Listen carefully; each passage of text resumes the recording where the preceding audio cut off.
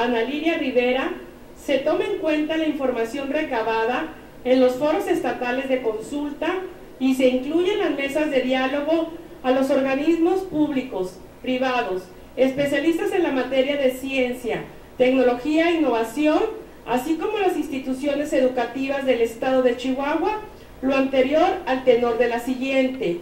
Exposición de motivos.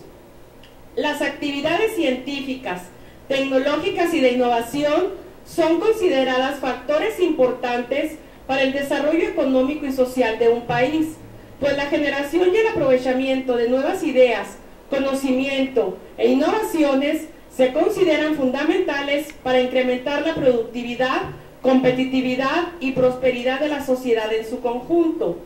Por tanto, un efectivo desarrollo sostenible del país solo puede obtener mediante un desarrollo regional integral. De la misma forma, la consolidación de un sistema nacional de ciencia, tecnología e innovación únicamente puede lograrse a través del fortalecimiento y la articulación de las capacidades locales de ciencia, tecnología e innovación.